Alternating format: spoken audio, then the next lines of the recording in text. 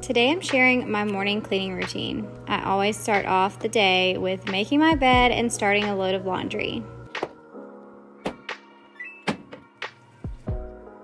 Next, I'm going to load my dishwasher, and since my dishwasher was full, I'm going to go ahead and start it now and then wash any dishes that I need to wash by hand. Now I'm going to clean out my sink using baking soda cream cleanser by Mrs. Meyer's and then I noticed that there was a little bit of discoloring here in the corner of my sink so I always use the pink stuff to scrub this out.